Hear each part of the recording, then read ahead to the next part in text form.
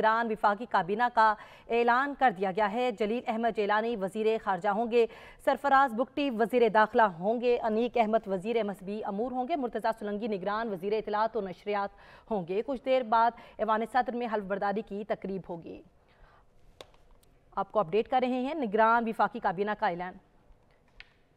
ऐलान कर दिया गया है।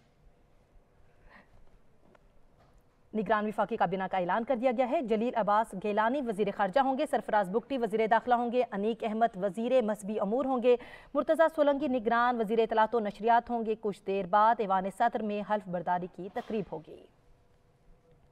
आपको अहम खबर से अपडेट करते चले। निगरान विफाकी काबीना का ऐलान कर दिया गया। जलील अब्बास गेलानी वज़ीर खारजा होंगे। सरफराज बुकटी वज़ीर दाखिला होंगे। अनीक अहमद वज़ीर मसबी अमूर होंगे।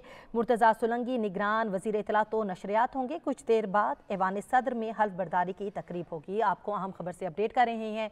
निगरान विफाकी काबीना का ऐलान कर दिया गया। जलील अब्बास गेलानी वज़ीर खारजा होंगे।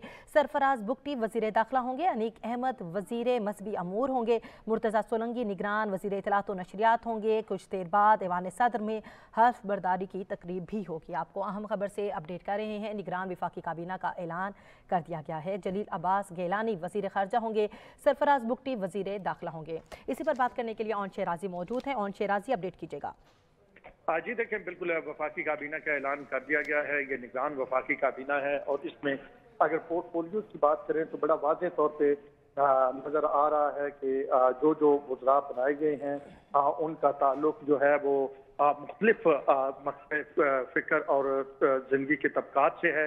और जो अहम वजाते हैं, अब इब्तदाई तौर पे आज अठारह रुकनी उस काबीना का ऐलान किया गया है और इसके बाद ये भी बता रहे बताया जा रहा है कि एक से डेढ़ हफ़्ते के दौरान जो है, वो मजीद गुजरा भी जो है, वो हलफ उठा सकते हैं।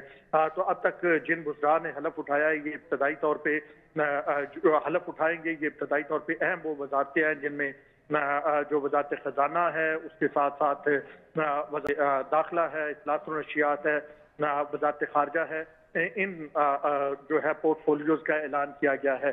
तो ये बताया जा रहा है कि इसके लिए पूरी कंसल्टेशन जो है वो निगरान वजी अजम अनवर हक काकर ने की है और उसके बाद इन पोर्टफोलियोज के लिए मुतल जो गुजरा है, उनका नामों का ऐलान किया गया है। बहुत बहुत शुक्रिया उन शेराजी अपडेट करने के लिए।